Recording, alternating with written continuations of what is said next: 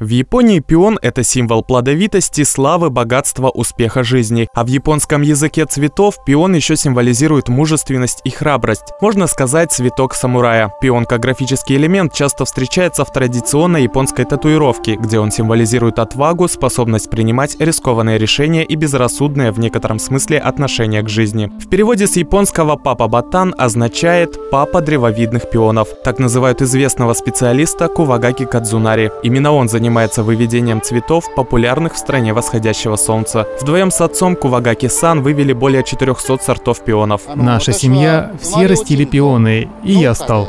Пионами в Японии занимаются очень давно. История насчитывает более полутора тысячи лет. Мне хотелось посадить во Владивостоке такие цветы, которые лучше всего подходят по климату, чтобы дольше могли жить.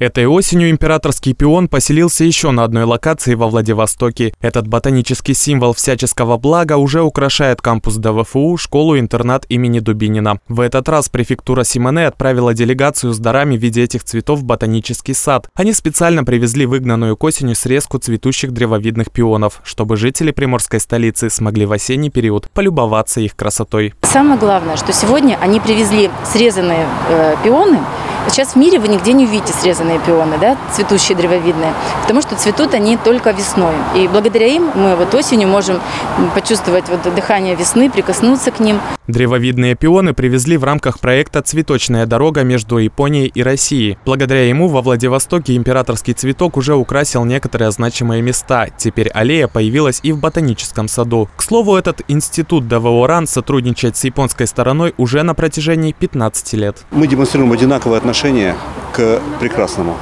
То есть мы любим прекрасное, мы уважаем цветы, мы их э, пытаемся выращивать, э, холить или леять, и они у нас э, прекрасно чувствуют. И, в принципе, когда э, цветы посажены э, японскими нашими коллегами, то мы чувствуем связь между Японией и Россией здесь, именно в нашем ботаническом саду.